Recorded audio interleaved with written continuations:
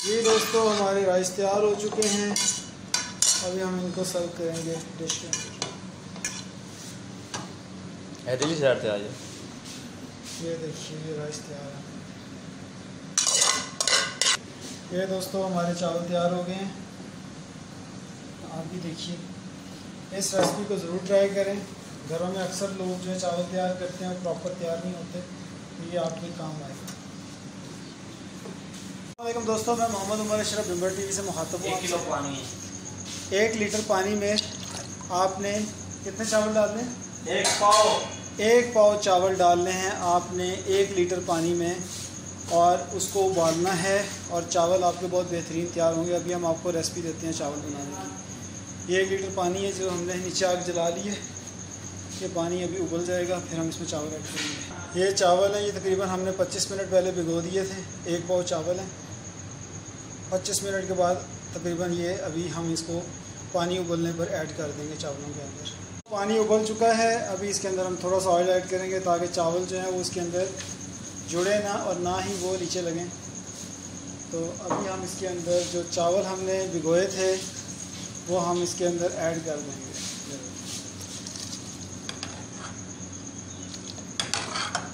अब आपने बड़ी एहतियात के साथ चावलों पे खड़े रहना है। और कोशिश करनी है कि जब चावलों को पहला उबाला आए तो उसके बाद आपने चावल को मसल के चेक करना ताकि ज़्यादा ओवर कुक ना हो जाए, ज़्यादा पक ना जाएँ। वो भी हम आपको दिखाएँगे। आपने जाना नहीं है, इस चैनल को सब्सक्राइब करना है और बेल के आइकन को दबाना है। लाइक करना है कमेंट करना है शेयर करना है और भी वीडियोज़ आपको इंशाल्लाह दिखाएँगे। फ्रेंड्स चावल उबल चुके हैं। देखें कितना ज़बरदस्त उबाला आ रहा है इनको। आप बस हम इनको दो से तीन मिनट और उबालेंगे, उसके बाद हम इनको जो है छानने में छान लेंगे ताकि वो चावल हमारे बिल्कुल तैयार हो जाए। ये हमारे चावल तैयार हो चुके हैं और तो देखिए खा के चेक कर रहे थे तैयार दोस्तों। अभी हम लोग छान लेंगे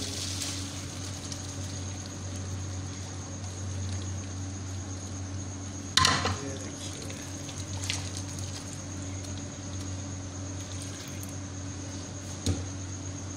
हमारे चावल उबल चुके हैं फ्रेंड्स ये देखिए एक एक चावल लहदा लहदा नज़र आ रहा है. ये हम लोग थोड़ा सा ऑयल डालेंगे पैन के अंदर, ताकि चावल स्टिच ना करें आपस में.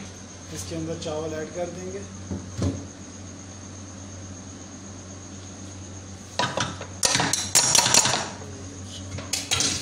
और इसको मिक्स कर देंगे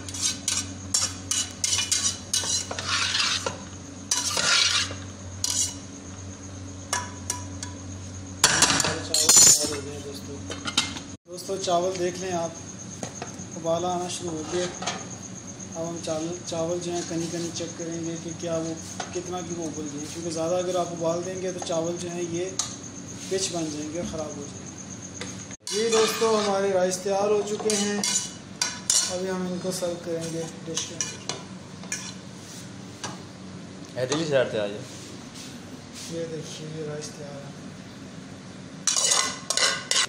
ये दोस्तों हमारे चावल तैयार हो गए हैं। आप भी देखिए। इस रेसिपी को ज़रूर ट्राई करें। घरों में अक्सर लोग जो है चावल तैयार करते हैं प्रॉपर तैयार नहीं होते तो ये आपके काम आएगा।